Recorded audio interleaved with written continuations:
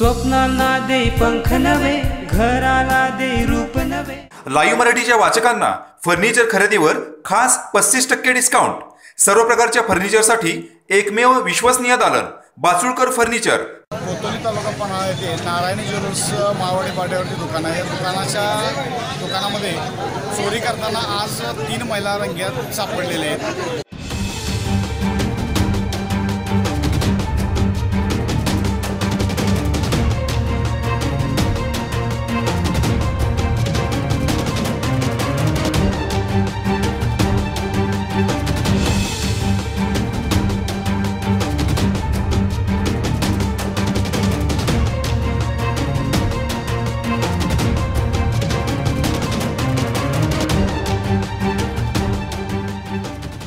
त्यातली एक महिला आणि त्यांच्याबरोबर आलेला साथीदार रिक्षातून पळून जाण्यात यशस्वी झालेला आहे. या तीन महिलांना पकडून पणा पोलिसांच्या ताब्यात दिलेले आहे आणि पोलीस पणाला त्यांना आता घेऊन गेलेले आहेत. लाईव्ह मराठीसाठी किरण मस्कर कोतुली.